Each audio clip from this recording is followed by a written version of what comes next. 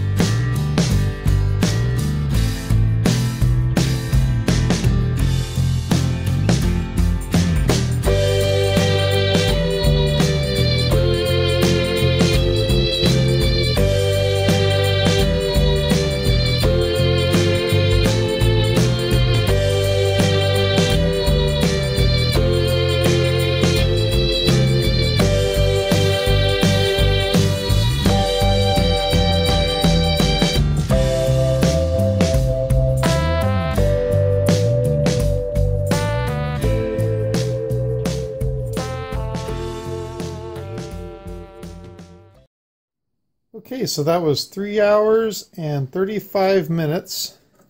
I already took it loose with the spatula. And it turned out pretty good.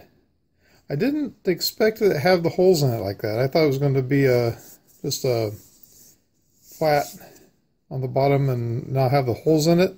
But that actually worked out better because where the sink, where, on the sink where I'm going to be putting this, it has it where it can drip down into it. So that'll keep it from just gathering up inside there very bad. But that's pretty cool.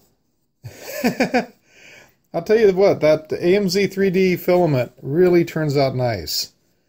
That's I'm getting more and more impressed by that by the each time I use it. but yeah, that'll do the trick. Anyway, I'll uh, take it over there and put my soap on it, and it'll be good to go. Thank you very much for watching, take care. Hey guys, thank you for watching this video. If you like it, please give it a thumbs up. If you like the channel, please subscribe. I sure appreciate it. You can do that by clicking on the link over here. Don't forget to ring the bell too. That way you'll be notified when a video comes out. Also, if you'd like to support the channel, please click on my Patreon page over here. You can support the channel from there. If you'd like to check out one of my other videos, please give these a shot. I think you're going to love them. Oh yeah, you're going to like them. Have a great day and take care. Bye.